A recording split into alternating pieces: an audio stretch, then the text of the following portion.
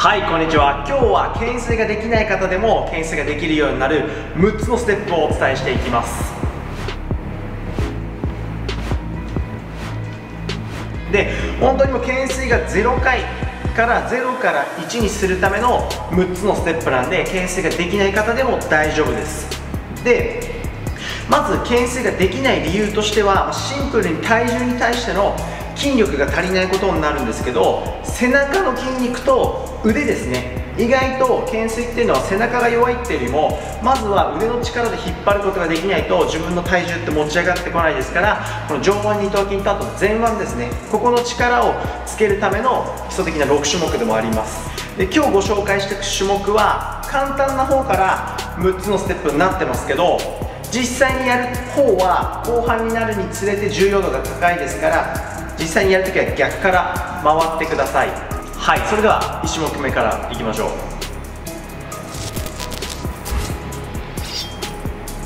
まず1種目目に入っていくのがオーストラリアンプルアップスですね斜め懸垂のことを言うんですけどもこういったスミスマシンでもいいですし低鉄棒のようなものでもいいんですけども大体おへその高さにバーを合わせてください。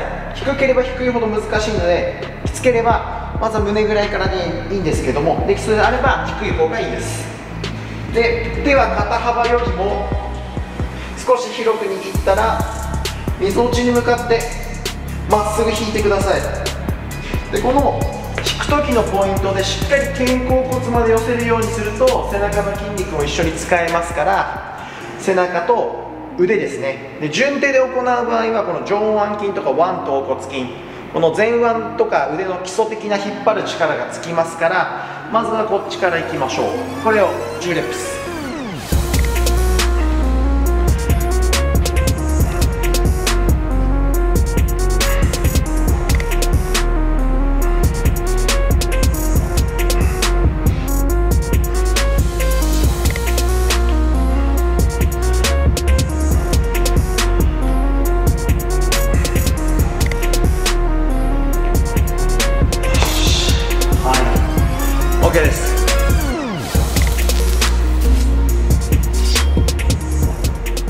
はい。2種目目はオーストラリアンチンアップスいきます。先ほどと高さとかは一緒でいいですから今度は手を逆手にします。逆手にすることでより上腕二頭筋が使えます。この担当の方ですね。内側のとこが使えるようになりますから腕の力あとは肩関節のこう伸展屈曲の動きが強くなりますから背中の株の方も動員されるようになるんでこれを10回いきましょう。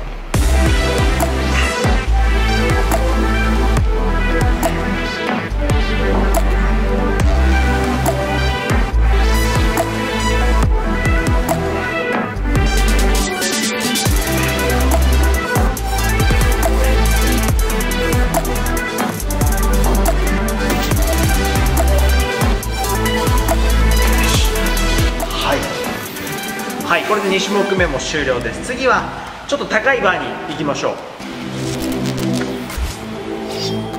はい。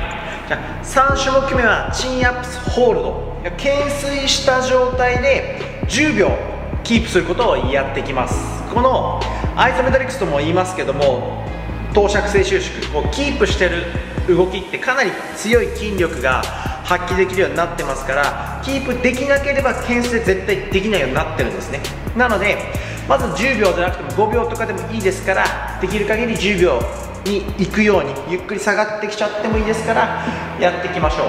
まずは難易度の高い順手からいきましょう。順手からやることで上腕二頭筋の外側ですね長頭とかこの前腕の筋力がつくようになります。手はこれも肩幅ぐらいで構いません。でジャンプした状態でできる限り長く10秒ね。我慢してみてください。それでは行きましょう。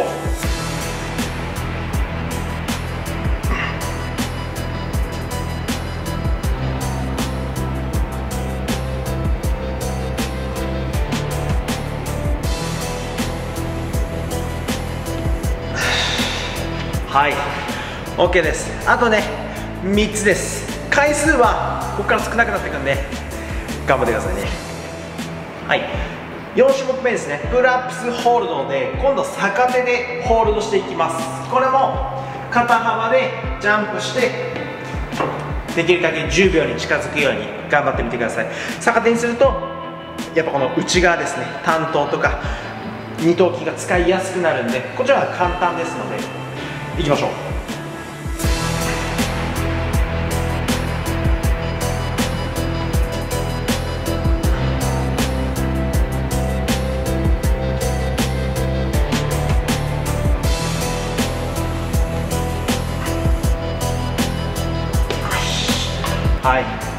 OK あと2種目なんで。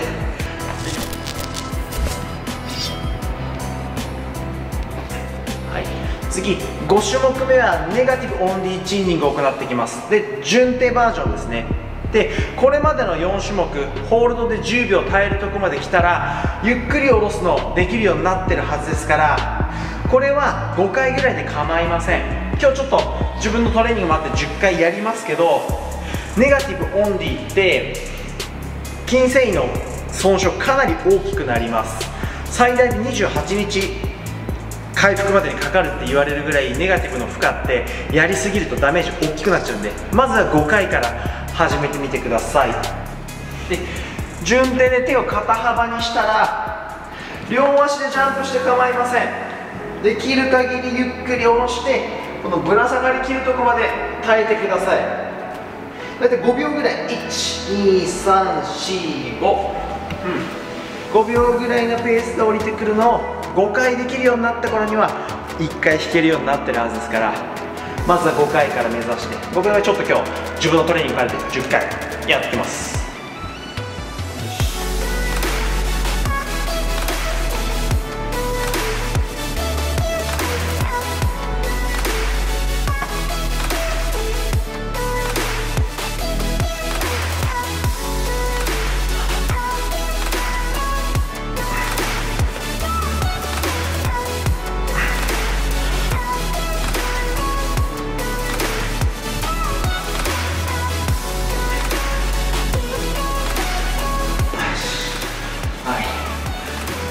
これで5種目終わったんであと1個だけ。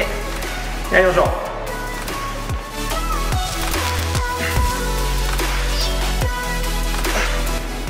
じゃあ最後に行うのが今度はリバースグリップのネガティブオンリーチンニング。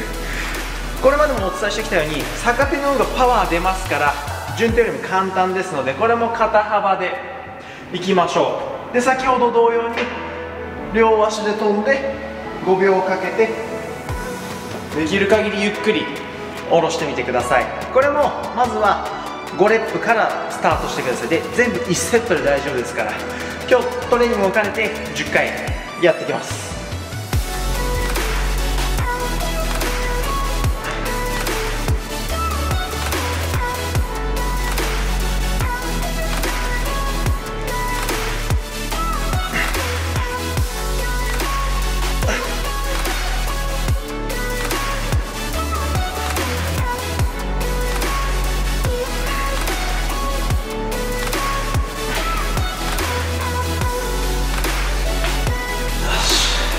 はい。OK です。これで全部ね6つのステップ終了です。はいといった感じでね懸垂ができない方でもできるようになるための6つのステップでした今日の6種目しっかり全部1セットずつで構いません。で筋肉痛がある時はやんなくていいですからまずは3日に1回ぐらいを目安に進めていくと必ずできるようになってきます。特に目安としては最後に行ったネガティブオンリーチンニングあれがゆっくり下ろせるようになってきたら5回ぐらいですね。5回ぐらい下ろせるようになってきた時に1回引っ張れるようになりますからぜひねあの今できない方も諦めずに頑張ってください。必ずできるようになります。ちょっとずつちょっとずつね諦めないで頑張ってくださいね。もしこういった自重系のトレーニング好きだったらぜひ高評価の方お願いします。あとチャンネル登録の方もぜひまだの方はお願いいたします。それではまた次の動画でお会いしましょう。ありがとうございました。